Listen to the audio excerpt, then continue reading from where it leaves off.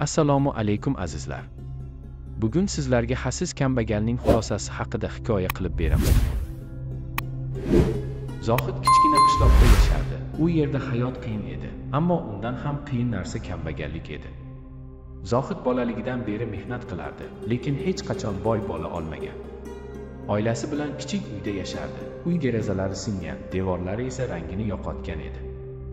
Oila oz nonini zo'rga topardi.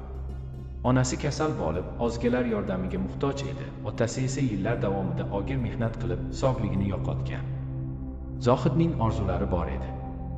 U bolaligida maktabga borganida o'qituvchilar uning aqlliligini payqashardi. U kitob o'qishni yaxshi ko'rardi, ayniqsa tarix va adabiyotga qiziqardi. Lekin oilasining ahvoli sabab maktabni tugata olmadi. O'shandan beri u qishloqda turli mayda ishlarni qilib yurardi.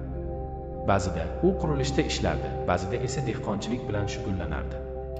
Lekin hech qanday ish uni kambag'allikdan qutqara olmasdi. Bir kuni Zohid shahar bozoriga yo'l oldi.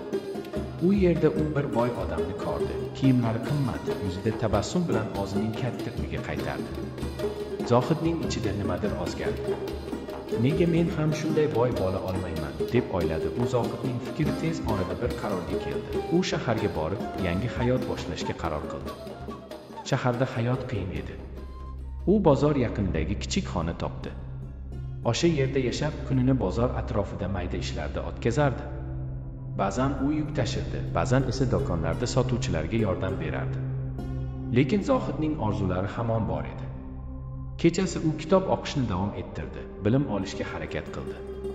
U ko'p narsalarni tushunib yetdi. Bu dunyoda odam o'z hayotini o'zgartira olishi mumkin, lekin buning uchun harakat va bilim kerak. Bir kuni u bir keksa odam bilan uchrashdi. Bu odam savdogar edi va Zohidga, "Bilasanmi, yosh bola, boylik hamma narsa emas. Insonning qalbida boylik bo'lsa, u hech qachon haqiqiy kambag'al bo'la olmaydi", dedi. Zohid bu so'zlar haqida uzoq o'yladi.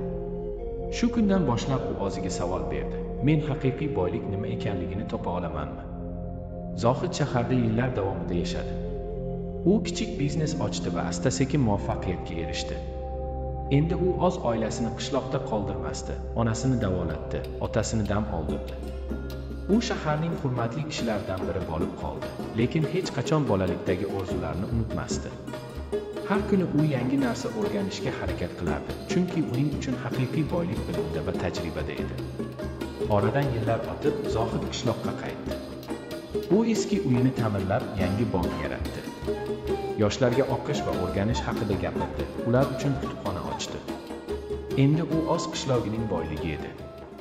Zohidga ko'p odamlar hurmat bilan qarardi, chunki u kambag'allikni yengib o'ta olgan, lekin boylikka hayotning boshqa tomoni bilan erishgan edi.